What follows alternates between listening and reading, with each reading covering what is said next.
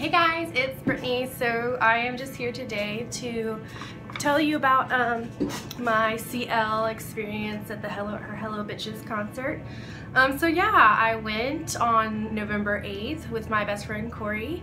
Um, he's not really a huge K-pop fan, but he was there however long ago when I discovered 2NE1 and CL. He really likes CL too. He's the old um, 2NE1 and Big Bang were the only groups that we really listened to, or that both of us listened to together.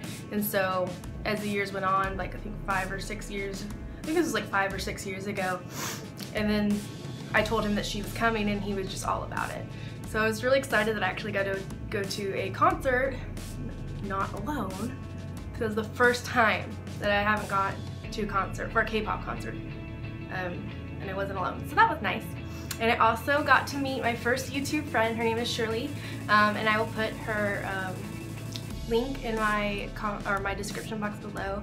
She's a YouTube reactor and vlogger, whatever you want to call us. Um, for K-pop as well, and she's become really precious to me. Um, so if you could go to uh, subscribe to her channel as well, that would be great. Um, she's great, so yeah. So she wound up going to the concert as well, and it was just, I was nervous to meet her, you know, but um, it wound up being a great experience, and I'm so glad that I got to have the opportunity to meet a friend through YouTube and through K-pop, because that's really why I started this channel. So yeah. Anyway, so on to the concert. So we get there, we, st we stood in line forever, you guys. Like, I got there probably around 7.30, and we stood in line for more than an hour just to get in. So annoying. So I had standing tickets, I was in the pit, and I was so close. Like there was the VIP section in front, there was a like a little fence, and then it was us. So I was so close to her, y'all. It was great. Um, so before everything started, you know, got drinks, you know, got our little light sticks. Um, went down to the, um, the floor and there were 2NE1 music videos playing which was kind of emotional because I'm still kind of upset about home, you know, Minzy leaving so that was really emotional. I think for everybody there that's a blackjack and so but it was fun to dance to the music videos and see them. It just made me really miss them. And then eventually they played um, an intro for CL that showed her from you know being a young child to now. It was just her, you know, playing the violin and all this stuff. And it was also very emotional to see how far she's come in just 25 years as a performer. And then after that, she came out on stage and everyone was just crazy and hype and just screaming. I've never seen so many fanboys ever. Ever! There's so many, and these were cute too. Mm -hmm. CL has cute fans. Um, so yeah, so she came out and I will show footage just straight footage after I did talk about it just a little bit.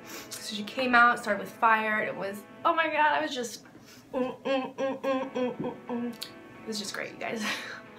um, overall, she performed, I think, 17 songs, I think 17. But she had a, she performed a lot of 2NE1 songs because she's, you know, she doesn't even have her own solo album out yet, so it's like, what the hell are you gonna sing? So she performed a lot of 2NE1 songs, um, and then she went into her solo, and we got to see the Hello Bitch's actual music video, not just the performance version, so that was cool. So she's just very, she was just very cool, very chic, you know, she's a very bad girl, very CL, and I loved it. You know, she was twerking, she was working it, she had a couple outfit changes. So overall, she, I mean, her, per, her performance herself was great. You know, I don't have any complaints about that. She sat, she sang great, she rapped great, dancing was fine. It's typical CL, you know. um, wasn't anything like super flashy or anything, but it was good.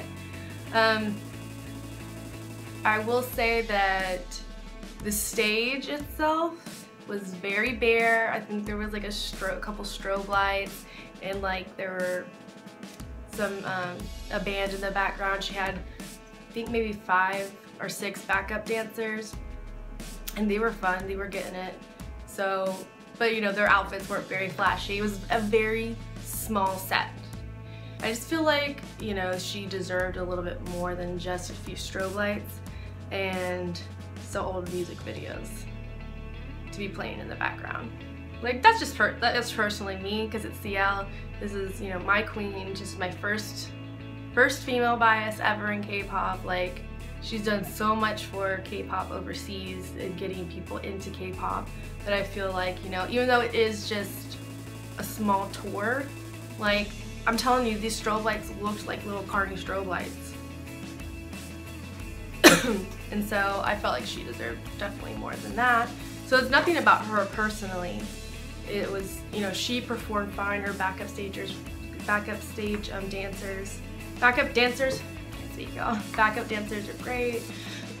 they all seem to like be really like a family, you know, and so they were fine.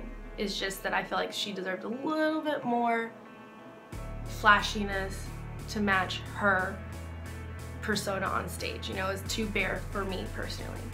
But I loved her outfits and wardrobe. So yeah, so overall I had a great time. You know, in Atlanta, shows are really fun.